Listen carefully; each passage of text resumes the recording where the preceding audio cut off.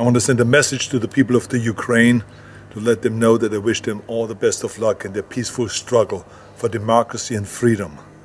Peace.